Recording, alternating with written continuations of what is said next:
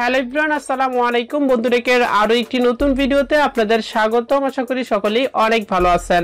বাংলাদেশ নির্বাচন কমিশনের ওয়েবসাইট থেকে এনআইডি কার্ডের অনলাইন কপি অথবা রঙিন কপি ডাউনলোড করতে গিয়ে আমরা বিভিন্নজন বিভিন্ন প্রবলেম ফেস করছি। সো আজকের ভিডিওতে আপনাদের রিকোয়েস্টে এই সকল প্রবলেমের বেসিক কিছু সমাধান দেওয়ার চেষ্টা করব। ভিডিওটি শুরু করার পূর্বে ছোট্ট একটি রিকোয়েস্ট আপনি যদি এই চ্যানেলটিকে এখনও পর্যন্ত সাবস্ক্রাইব করে না থাকেন, তাহলে অবশ্যই সাবস্ক্রাইব করবেন এবং পাশে থাকা বেল আইকনটিতে ক্লিক করে দিবেন। আর যদি অলরেডি সাবস্ক্রাইব করে থাকেন thank you so much so first of all আপনাদেরকে বলতে হচ্ছে, বর্তমান পরিস্থিতির কারণে যেহেতু বাংলাদেশ নির্বাচন কমিশনের অফিসিয়ালি কার্যক্রম বন্ধ রয়েছে, যার কারণে এই সকল প্রবলেমের সলিউশনগুলো আমাদেরকে ফেসবুক থেকে কালেক্ট করতে হয়েছে। সর্বপ্রথম অনেকের যে কোশ্চেনটি থাকে যে, আমি আমার স্লিপ নম্বরটি হারিয়ে ফেলেছি, সুতরাং কীভাবে অথবা কোথা থেকে আমি আমার স্লিপ নম্বরটি সংগ্রহ করতে পারি? এখানে দেখতে পাচ্ছেন, বাংলাদেশ নির্বাচন কমিশনের যে অফিসিয়ালি ফেসবুক পেজ রয়েছে, সেই পেজ থেকে একটি কমেন্টের রিপ্লাইয়ে বলা আছে, আপনার স্লিপ নাম্বার সঠিক না থাকলে আপনাকে স্থানীয় নির্বাচন অফিস থেকে আপনার ভোটার নাম্বার সংগ্রহ করতে হবে। সরকারি সিদ্ধান্ত মোতাবেক পরিস্থিতি স্বাভাবিক হলে স্থানীয় নির্বাচন অফিসে যোগাযোগ করে আপনার ভোটার নাম্বার সংগ্রহ করবেন এবং তথ্য সেবা একশো পাঁচে যোগাযোগ করবেন এনআইডি নাম্বার সংগ্রহের জন্য। সো এখান থেকে আমরা বুঝতে পারতেছি, যদি আপনার স্লিপ নাম্বারটি হারিয়ে যায়, তাহলে আপনাকে আপনার নিকটস্থ উপজেলা অফিসে যোগাযোগ করতে হবে এবং সেখান থেকে আপনার স্লিপ নাম্বারটি সংগ্রহ করার বিনিময়ে আপনি এনআইডি কার্ডের তথ্য সেবাটি পেতে পারেন। এবং দ্বিতীয় নম্বরে আমাদের যে প্রবলেমটি হয় সেটি হচ্ছে আমাদের বয়সের সমস্যা।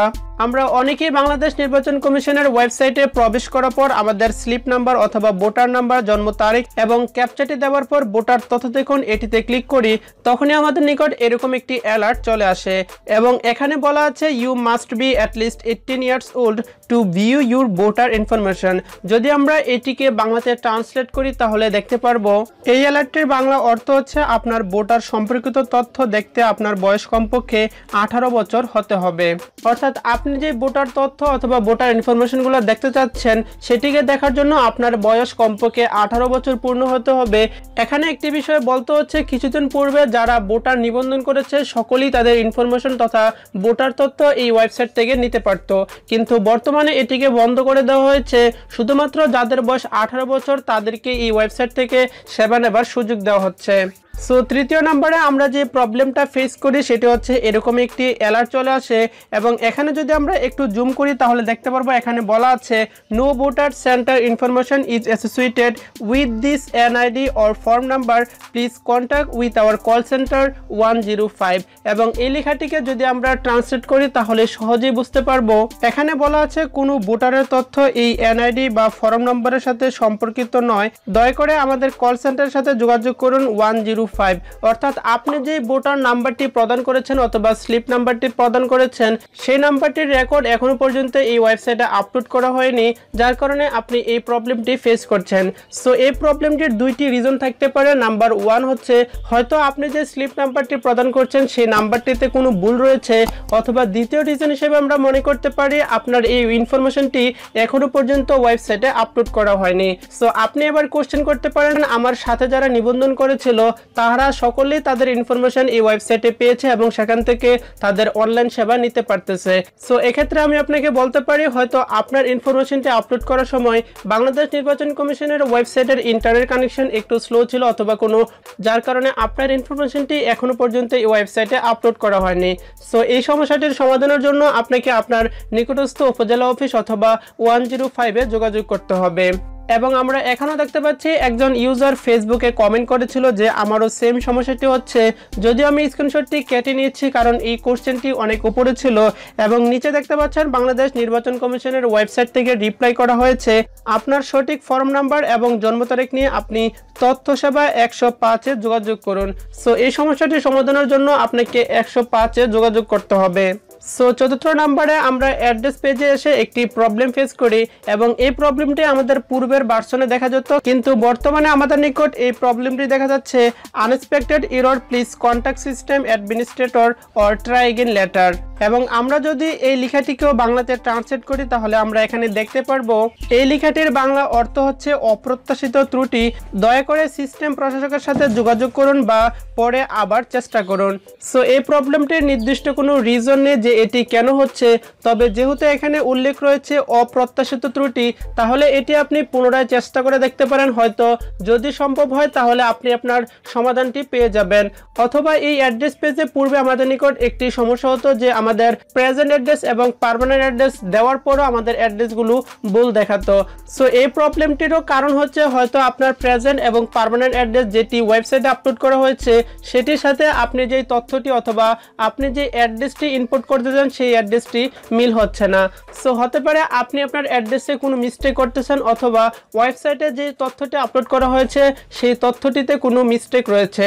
সো যদি আপনি এই প্রবলেমটি ফেস করেন, তাহলে আপনাকে নিকটস্থ উপজেলা অফিসে যোগাযোগ করতে হবে অথবা ওয়ান জিরো ফাইভ এই নাম্বারে কল করে আপনি হেল্প নিতে পারেন।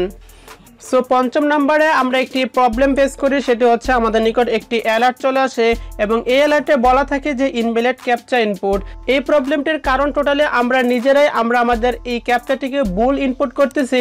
সো যদি আমি এই স্ক্রিনশটটি আপনাকে একটু দেখিয়ে দিই, তাহলে আপনি সহজেই বুঝতে পারবেন। এখানে দেখতে পাচ্ছেন জেড এবং সি এই দুটি লেটার কিন্তু বড় হাতের অক্ষরে রয়েছে।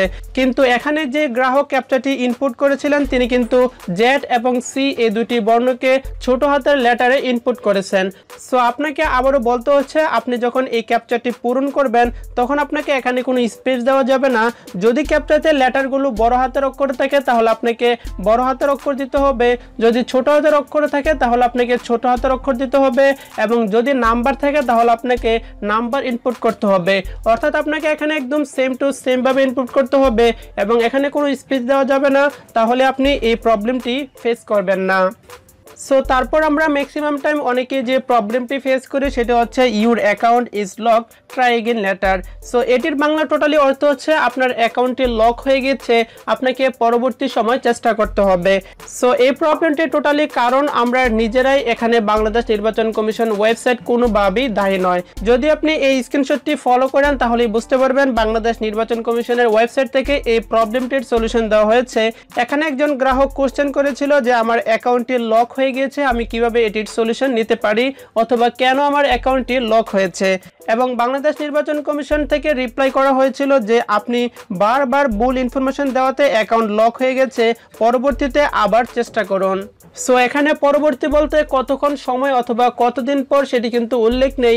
সেদিক থেকে আপনাকে বলতে পারি, আপনি চব্বিশ থেকে বাহাত্তর ঘণ্টা পর একবার ট্রাই করতে পারেন। যদি আপনার অ্যাকাউন্টটি আনলক না হয়, তাহলে আপনাকে এক সপ্তাহ পর ট্রাই করতে হবে এবং তাতেও যদি আপনার অ্যাকাউন্টটি আনলক না হয়, তাহলে আপনাকে নিকটস্থ উপজেলা অফিস অথবা ওয়ান জিরো ফাইভে যোগাযোগ করতে হবে। সো তারপর আমাদের অনেকেরই নিকট যে প্রবলেমটি ফেস হয়, সেটি হচ্ছে আমাদের অ্যাকাউন্টে লগ ইন করার পর আমরা আমাদের কাঙ্ক্ষিত যে ফটোটি থাকার কথা, সেই ফটোটি আমরা দেখতে পারি না।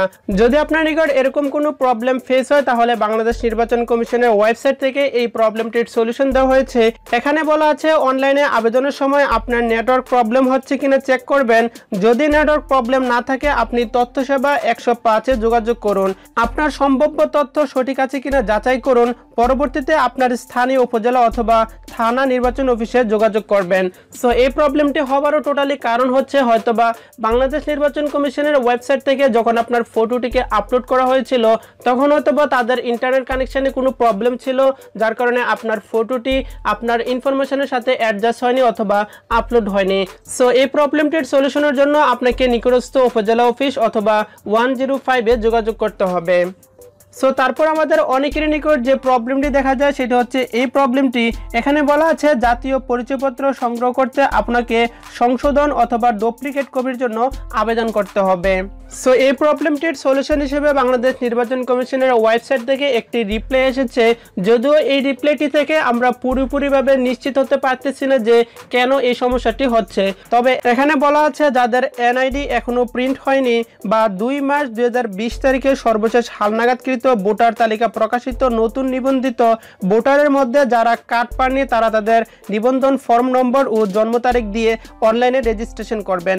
পরে বায়োমেট্রিক যাচাই শেষে এনআইডি কপি বা নম্বর পাবেন তারা। তবে দ্বৈত ভোটার হলে এনআইডি কপি বা নম্বর পাওয়া যাবে না। এখানে একটি বিষয় অবশ্যই আমরা ক্লিয়ার হতে পারতেছি যে যাদের এই প্রবলেমটি হচ্ছে, আপনাদের বায়োমেট্রিক যাচাই শেষ করার পরে আপনারা আপনাদের অনলাইন সেবাটি পেতে পারেন। এবং এখানে দেখতে পাচ্ছেন আরও একটি রিপ্লে এসেছে এবং এই রিপ্লে বলা আছে অনলি নিউ ভোটার যাদের এনআইডি প্রিন্ট হয়নি, তারাই ফ্রিতে ডাউনলোড করতে পারবেন।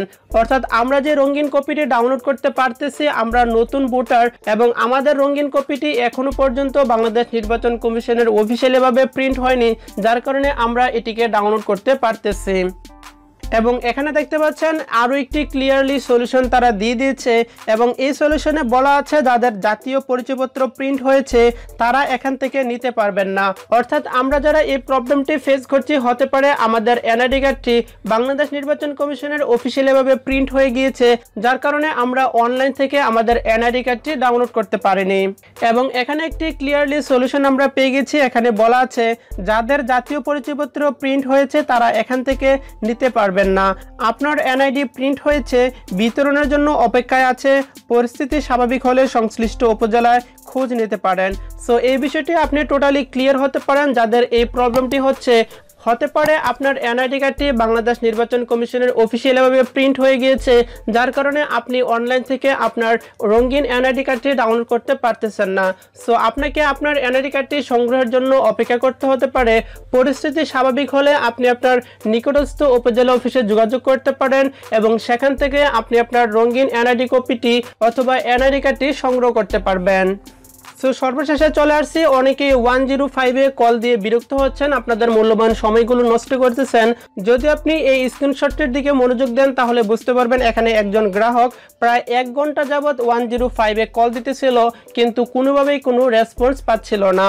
এবং বাংলাদেশ নির্বাচন কমিশন থেকে রিপ্লাই এসেছে, করোনা ভাইরাসের কারণে আমাদের কল সেন্টার সীমিত পরিসরে রান করা হয়েছে, বাট কলের পরিমাণ বেশি, তাই একটু সময় লাগবে। সো আপনাকে বলব, জাস্ট একটু ওয়েট করেন, শুধু শুধু ওয়ান ফাইভে কল দিয়ে আপনার মূল্যবান সময়গুলো নষ্ট করার প্রয়োজন নেই। পরিস্থিতি স্বাভাবিক হলে আপনি ওয়ান জিরো ফাইভে কল দিতে পারেন অথবা আপনার নিকটস্থ উপজেলা অফিসে যোগাযোগ করে যে কোনো সেবা সহজেই পেতে পারেন। সো সর্বশেষ আমরা অনেকেই আমাদের রঙিন পিডিএফ ফাইলটি ডাউনলোড করার পর এটিকে ওপেন করতে পারতেছি না এবং এই ফাইলটিকে ওপেন করার জন্য আপনার মোবাইলে একটি পিডিএফ রিডার অ্যাপ ইনস্টল থাকতে হবে। আপনাদের সুবিধার্থে ভিডিওটির ডেসক্রিপশন বক্সে পিডিএফ রিডার অ্যাপসের লিঙ্ক দেওয়া থাকবে। চাইলে সেখান থেকে যে কোনো একটি পিডিএফ রিডারকে ইনস্টল করে আপনি আপনার কাঙ্ক্ষিত পিডিএফ ফাইলটিকে ওপেন করতে পারবেন। সো বন্ধুরা, এই ছিল আজকের ভিডিও আশা করি ভিডিওটি আপনাদের ভালো লেগেছে। ভিডিওটি ভালো লেগে থাকলে অবশ্যই একটি লাইক দিবেন কমেন্ট সেকশনে আপনার মূল্যবান মতামত জানাবেন এবং ভিডিওটি বন্ধুদের সাথে শেয়ার করবেন। আমাদের সাথে থাকার জন্য অবশ্যই সাবস্ক্রাইব করুন। দেখা হবে আবারও নতুন কোন এক ভিডিওতে ততক্ষণ পর্যন্ত সকলে ভালো থাকুন, সুস্থ থাকুন। আল্লাহ হাফেজ।